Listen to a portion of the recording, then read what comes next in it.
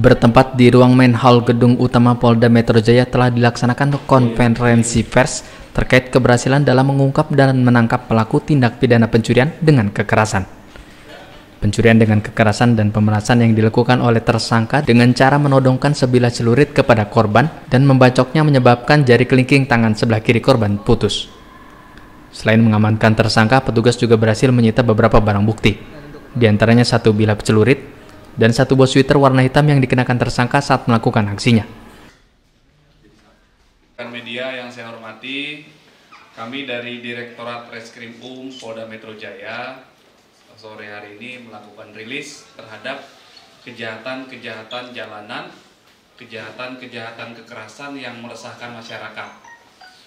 Ada tiga kasus yang kita ungkap, yang diungkap oleh dua subdit, Subdit Jatanras dan Subdit Resmob, Direktorat Reskrim Um Polda Metro Jaya. Kasus yang pertama adalah kasus pencurian dengan pemberatan terhadap rumah-rumah yang kelihatan lengang ya. Ini pelakunya satu orang. Pelakunya satu orang. Modusnya dia mobile ke perumahan-perumahan ketika dia melewati rumah yang kelihatan kosong, lengang, pintunya terbuka, maka dia masuk. Masuk kemudian mengambil barang-barang apa pun yang bisa dia ambil. Dia sudah melakukan aksinya selama empat kali.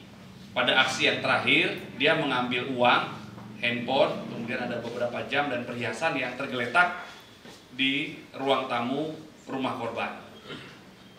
Kepada tersangka ini kita jerat pasal 363 dan atau 362 KWP.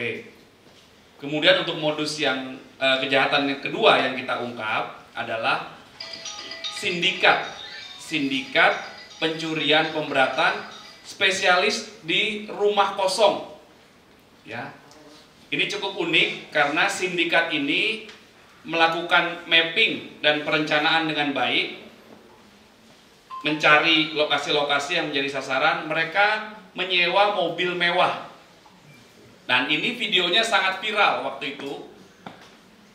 Ada orang yang turun dari sebuah mobil Pajero, kemudian membawa alat ini, alat gunting ya, alat gunting ada. Kemudian mem memotong gembok, memotong gembok sambil melihat aman atau tidak kiri kanan, dipotong gembok, kemudian masuk lagi ke mobil, melihat situasi lagi, kemudian dia akhirnya masuk.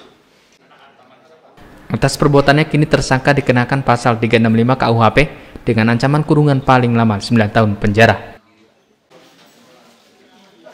Dari Jakarta, Tim Liputan Tribrata TV, Salam Tribrata.